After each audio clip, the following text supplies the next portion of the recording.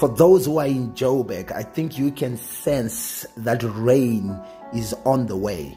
We pray that God will open the floodgates of heaven and pour down rain. This reminds me of God's promise that His word will not return empty. Just like when it rains, the Bible says in Isaiah 55, that rain doesn't return empty, it brings forth a fruit so it gives seed to the sower and bread to the eater. So it is with my word, says God. My word will not return empty. My word will accomplish that which I please. Father, thank you in the mighty name of Jesus that your word tells us what you please. Your word tells us what you desire.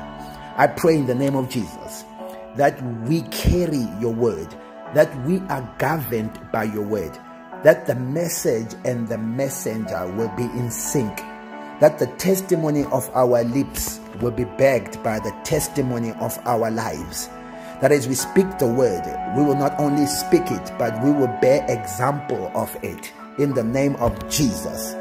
Thank you, Lord God, that the word of God will impact us first, work in us, and work through us to positively impact people around us in the name of Jesus. Thank you, Lord God, for kingdom resources that are being released to ensure your word does not fail. The time has come. The time has come for us to arise in the name of Jesus. We will believe, rely on, depend on, adhere to your word. We will manifest your kingdom against all odds in the name of Jesus. Thank God that we've been delivered from the power of darkness conveyed into the kingdom of Jesus Christ. Our Lord reigns. Anything that disagrees with that, anything that tries to stand up against our Lord, we are guaranteed in that our Lord has been exalted far above all rule, authority, power, and dominion. That is the name of our Lord. It's the name of Jesus. Every knee will bow, every tongue will confess. Our Lord reigns. He is Lord. The church will manifest his kingdom here on earth in Jesus' name. We will demonstrate the Spirit's power in our families, in our communities, in Jesus' name. Why are you fearful, my friend? Why don't you have faith in God? Arise. Feed your faith daily as I am doing. Join me if you can. Every day it's from 7 o'clock until 8 on Facebook. I just go on live and I share the word of God trusting God that I will grow, trusting God that my impact will grow, my influence will grow, lives will be transformed by the powerful word of God. I do it because I was born to do that. I pray in the mighty name of Jesus that you will arise in the name of Jesus, that you stubbornly hold on to the word of God, that you will manifest the glory of our King as you do that which you were created to do.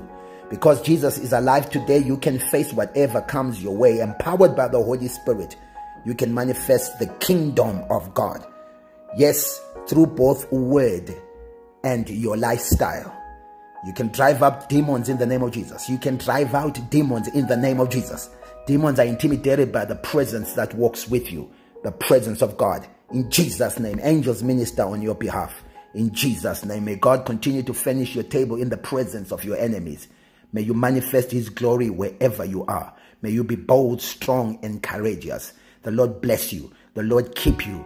May the Lord's face shine upon you in Jesus' name. May his favor be seen upon your life in Jesus' name. May God establish you.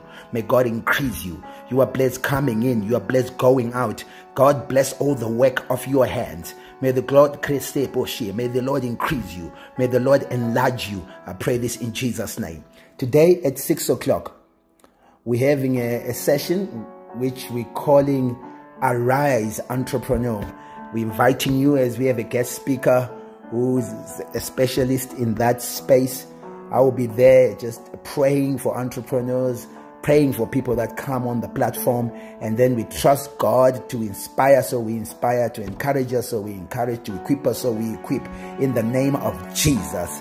See you soon. My name is Busani Mcingolwane, and it will be on my Facebook uh, account so it's Busani Mcingolwane and the time is 6 o'clock. See you soon.